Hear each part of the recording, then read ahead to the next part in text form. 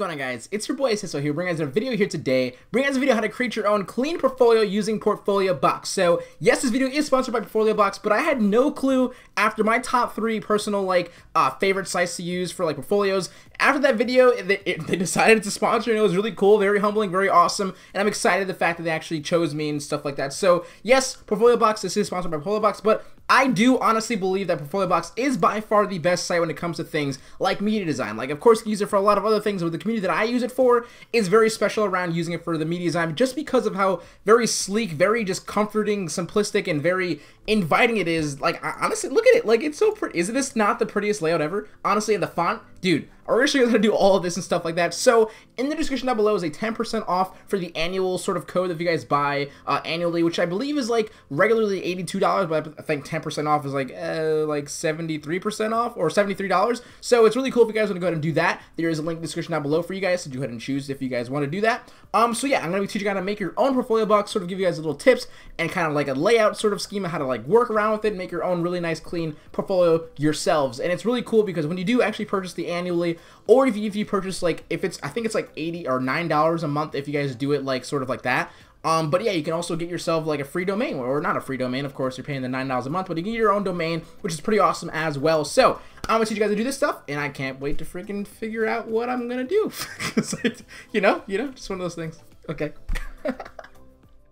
Alright guys, so I know a lot of you guys already made the switch to Portfoliobox due to my top 3 portfolio series. I know a lot of you guys did, I saw in the comments below, you guys were like, I had no clue about it, I'm like, you know what the fuck? You know, it's one of those kind of things, so uh, I'm going to teach you guys how to make your own Portfoliobox site uh, from like start to finish and stuff like that. And uh, yeah, I'm pretty much making the same exact way that I had in the beginning, that I showed you guys in the beginning. But there's one cool thing I want to do this video is in the comments, or not in the comments section below, I would definitely advise you to tweet it out, and tweet out at to me, of course, and just tweet me your Portfoliobox site. And I want to take at least five of them. Maybe you guys already made one previously, or make, maybe you're making one in the making like right now. That, that, that came out weird, but if you're making a portfolio site and you choose Portfoliobox, uh, tweet me it, and I'm going to take five of them and put them in the comment uh, comment section below. Probably make it the top comment so everyone who visits the actual thing will like sort of view it. I'll put your like your name and stuff like that so it looks really cool, and then sort of get a little bit exposure. So if you guys want to tweet it out, I'm definitely to go ahead and just take five of them. I'll do it in the first like I guess 24 hours. So sort of like, you know, if you're trying to make a portfolio, definitely do it fast. You want to do it if you're doing it on this video. So I'm gonna show you guys how to do this really quickly. So what's first of all, I would definitely advise you guys to. Uh, by the way, if you don't know how to get here, this little bottom right pieces here is how do you hide and sort of unhide things in this little right here. It's a preview. If you guys actually did the. Uh, there's a little thing that kind of lets you help you get started or something like that when you first sign up. But if you guys do not know, the first thing you probably want to do is change your settings here. So uh, once you click on this little thing on this bottom right, you want to go to your settings, which is located right here, and your title for your website is going to be what's coming up right here. This little thing, this little tab that people see is what you know you want to change. So if I just change this to Seso HQ, this thing up here will change the Seso HQ, uh, Seso HQ, of course, after I save it and stuff like that. But the one thing I will also tell you guys is what's really cool is this is free, is if you, if you go to site icon and select your file, if you have a logo file of whatever the heck your logo is, and like I guess in a very simple like avatar way, I would say like 400 by 400 pixels to be safe or something like that, and sort of like use that to make an actual site icon that way, what's going to happen is you see this little site icon here. This will be exchanged to your actual logo design, which is really cool, very awesome. I very much advise you guys to do that. Probably the first thing you probably want to do. So, Okay, so I'm going to do it here, and of course the first thing you want to do is create your own page. Now, Portfoliobox has a like a, a, lot of freaking choices. Now, when it comes to the gallery, which I will be doing in the second, like in the second part of this video, uh, is the even rows is the one that I actually use for the demonstration, and it also is the free one, and it also is, in my opinion, by far the best looking one. So you're lucked out there. So definitely advise you guys to do that. So I'm going to go ahead and I'm gonna make a just in case you guys wanted to know kind of know if you guys ever wanted to make a studio or a uh, I guess a design studio with your friends or something like that Portfoliobox does have a template for your friends so you can have like I don't know you probably already seen this already for like I guess other studio sites but you sort of have like a nice little picture of yourself their name what their like role is maybe they're an advertising designer 3D modeler or whatever the hell they are and then a little description of themselves very cool uh, template for that I'm just, I'm just curious, just in case you guys wanted to know. But I'm to make a first kind of like landing page. So I'm to go with this right here. I'm going to select with this. So what does this page call? Let's just call it Seso because why not? And then we're going to go ahead and just take the header, which is going to be the main text, and I'm going to put this Seso HQ, and we're going to make the size very big. If you guys want to know what I mean by the main text is right here. So I'm going to edit contents again, and we're going to make the size very big. So the biggest it can be, so it looks something like this. Go back to edit content, and what I'm going to go to do is change my font. Is the one that I had uh, shown was which one? Aldrich. Yeah, this one for sure. All right, so if I just go here, this font is very, very freaking pretty. It's very clean. It's very snazzy. I definitely would advise you guys to use this one as well. Now, the one thing I'm not liking right now is the font, or excuse me, is the background. So I'm going to really quickly change that. And the way you do that is go to your colors and fonts, go to background, and you can pretty much choose an image or a solid color. I will be using a solid color, but I'm going to show you guys something really quickly. If you're going to use an image, if you go to standard, there's a whole bunch of premates for you guys to actually choose from. So you can choose like this really nice like noise background black, uh, whatever the heck kind of floats your boat. But there's a lot of ones that are like, they look pretty good, but I do like the solid kind of color thing that is for me.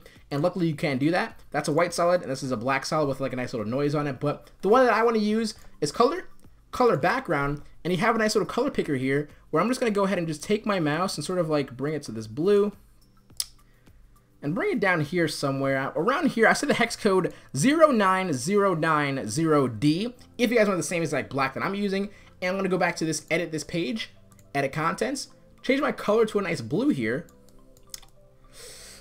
I think this looks pretty good. Let's go with that blue, close this down, and there we go. Sweet. So I'm to put something on the bottom of this, says like kind of what I am. So I'm to go to the second header here, and I'm to go to graphic designer I could put a YouTube graphic designer. I don't know. Gets the point across. But I'm going to close this down. So once you see this here, this will be the landing page. I'm going to quickly show you guys in full glory. But this will be the landing page. This is what, uh, what you guys saw in the beginning of the video. And then you saw that I clicked on top of this. However, it doesn't bring me to anything right now because I have no secondary page. But when I click on top of this, it's going to bring me to my actual portfolio, which I'm going to make right now. So bottom right, create a page, gallery, even rows, select, and we're going to go ahead and select, and we're going to name this portfolio because that's what it is.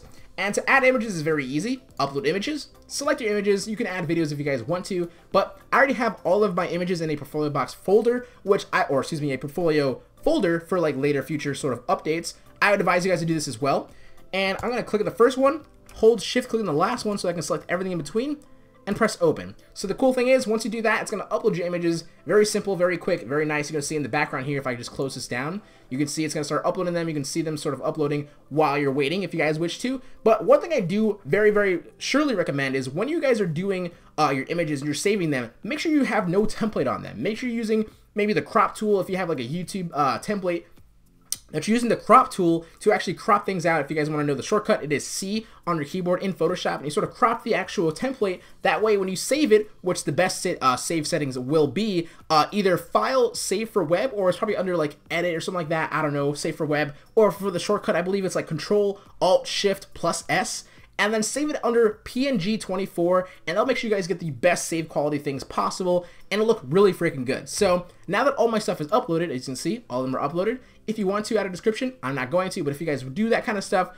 go for it. But if I just really quickly show you guys in all its full glory, this is what it looks like right now. Very clean, very even. Uh, it's very, very, very hot. I do like it a lot. It, that's that's I never use that word hot, but you know that's kind of how I feel when I do this. Now wait for it. And since it is even rows, I'm going to go to display settings here. I'm going to change my image size to small. And I'm to change my image margins, which means this right here in between is the spacing that you kind of have here. So if I make this bigger, kind of get that look to it. If you want to get really creative, you can have a lot of fun doing this. But my favorite thing is having zero margin. So all the way to the left, oh my god, does that not look freaking beautiful? It's very simple, very easy, and it looks really freaking clean. And if you have your portfolio, or excuse me, your uh, your images for like social media and stuff like that, very clean, very seamless, bro, you're missing. Look at that, honestly. Okay, so one thing I do want to do really quickly is change this. I'm going to layout. I'm going to go to menu layout. I'm going to put this on the left, just like so, right? And also I'm going to go ahead and do is I'm going to change the logo, which is right here, Seso HQ, that's what that means. Change it to Seso HQ, it says Seso Ortiz, but change it to Seso HQ, change my font to Aldrich as well, looks really freaking good. Make this a nice blue.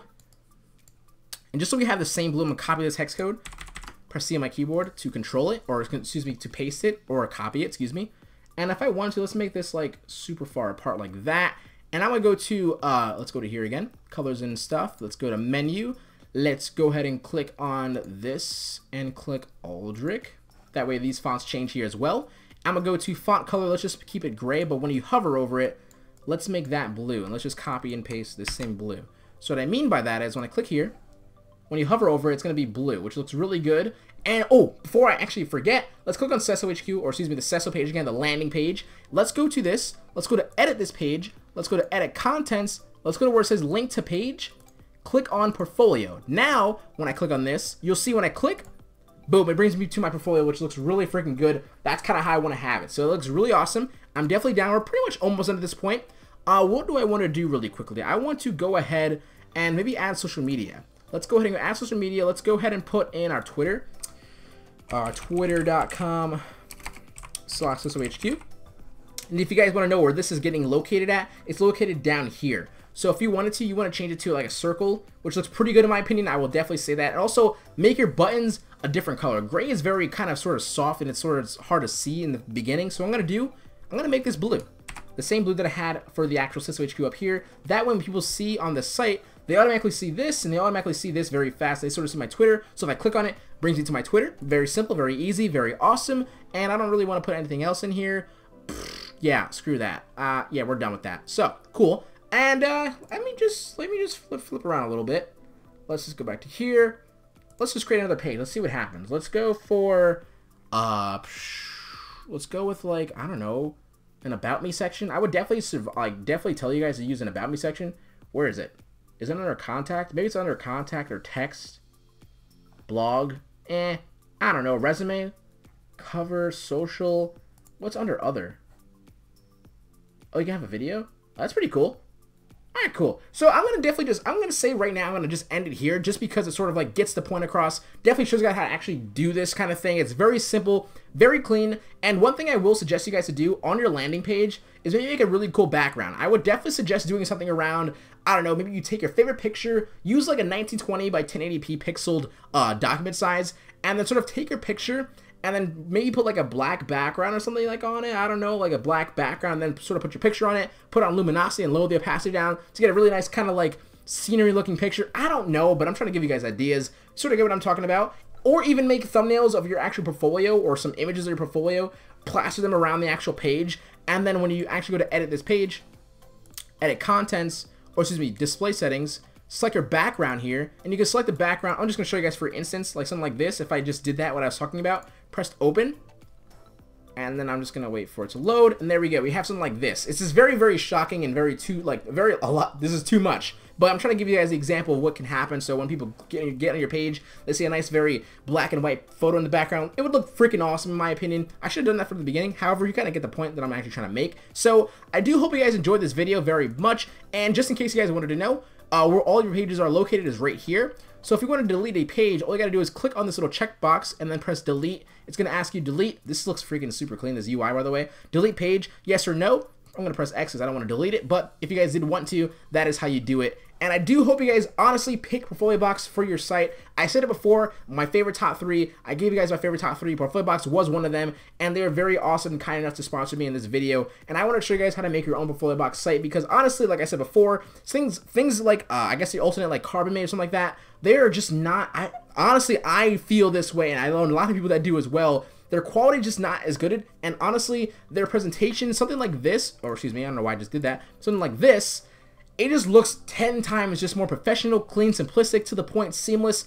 It just, I don't know. I definitely have to say these things just because it's it's true. It's what I honestly believe, and I think you guys will honestly enjoy Portfoliobox just as much as I do. Like I said before, don't forget to leave a like on the video if you guys wish to, and also do not forget to tweet me at SesoHQ, your Portfoliobox site. That way you get a chance to have it in the. Maybe I'll even put it in the next video as well, just because I don't know to make it cool and whatnot. But I definitely want to take five of them, put them in the video of, uh, that you're watching right now, in the comment section or in the description, maybe in the top description, so it's really cool. So inviting for people to actually check it out. And uh, yeah, hopefully you guys do enjoy. Hopefully you guys do pick Portfoliobox. Like I said, also in the description down below is the 10% annual code off. Like I said, I believe it's like $89 or 89 uh, annually, sort of like a year, which uh, if you guys did not know, annually is a year. And I think you get like uh, maybe $8 off, which is 10%, right?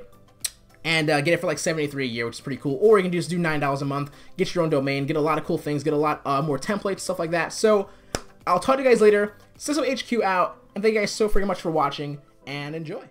Alright, so there was one more thing that I did want to mention, which was called Find Creatives, which is pretty cool. It's a very cool site. You can see it says find, discover, and hire creative talents near you. Now, the one thing that's really cool for this is sort of you can see people with any sort of design uh, background or sort of like design field that they're in. You can find out where, like, relatively where they live around you and sort of like meet up with them. You can contact them, hire them. Maybe you want to make like a project and you need a certain person with it. It's very cool if you want to make like a nice little small design firm or something like that.